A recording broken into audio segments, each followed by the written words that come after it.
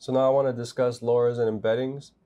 The first thing we want to do is head into the directory that has our Comfy UI and VENV, so virtual environment.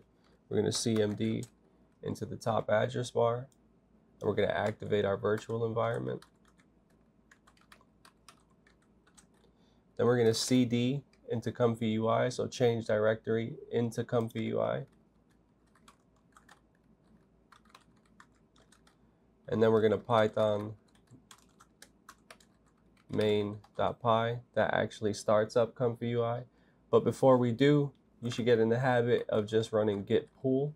So git pull. So git pull is just going to pull any recent changes made by the developer. We're already up to date, but usually you'll see some uh, green plus marks and some red negative marks that let us know the changes that have been made in what files. So now we're going to python main.py and that's going to start up Comfy UI and it's going to give us this link. This link right here is what we want to use to navigate to Comfy UI. Now I want to show you guys a real cool trick.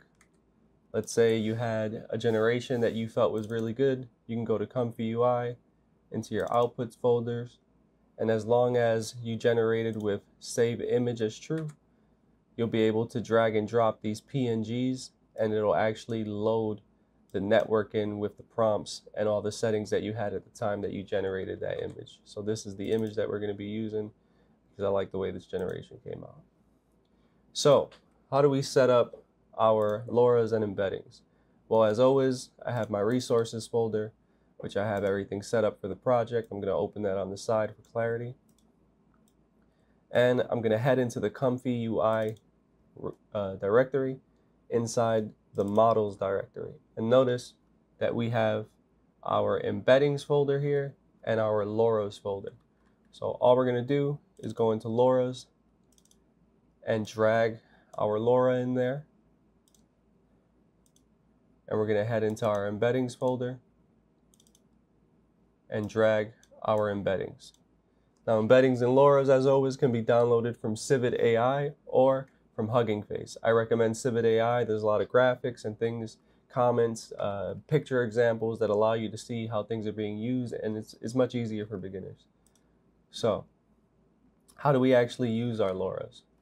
Well, if we move our checkpoint here, because we're going to put our LoRa right after it, we move our checkpoint over here, and we double click. So if I double left click, it brings up this context window. So double left click and LoRa, and it brings up the LoRa loader. So we're going to drag our model here into the input model.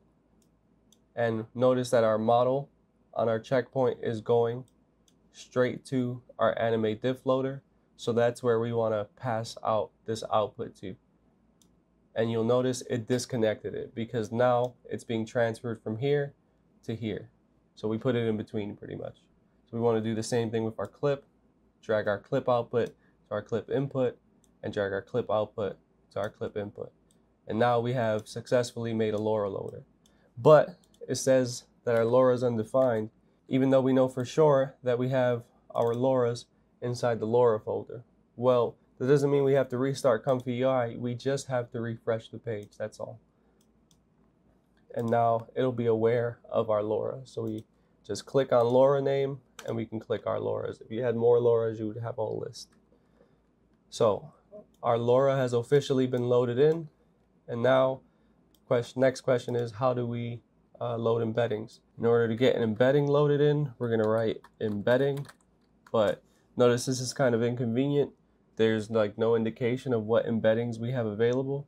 So we're gonna actually download a custom node that makes things a lot easier. So we're going to go to the manager here. We're going to click install custom nodes and we're just going to search in this top box on the right, tiny and press search and tiny Terra nodes is going to come up. We're going to install that.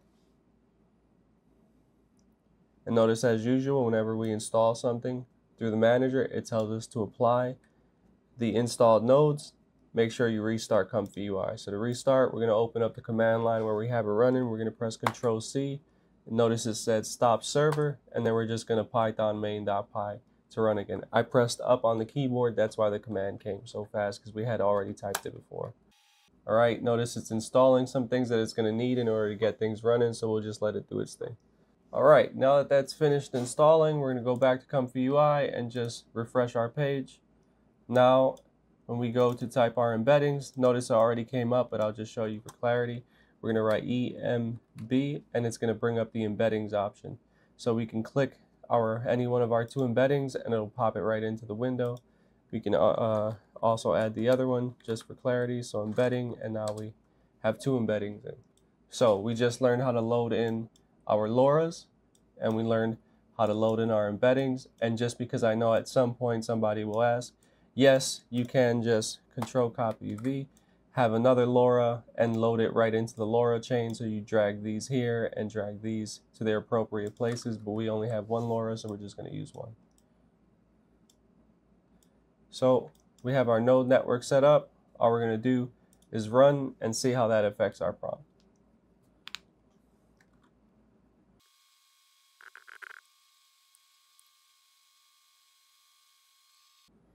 Very cool.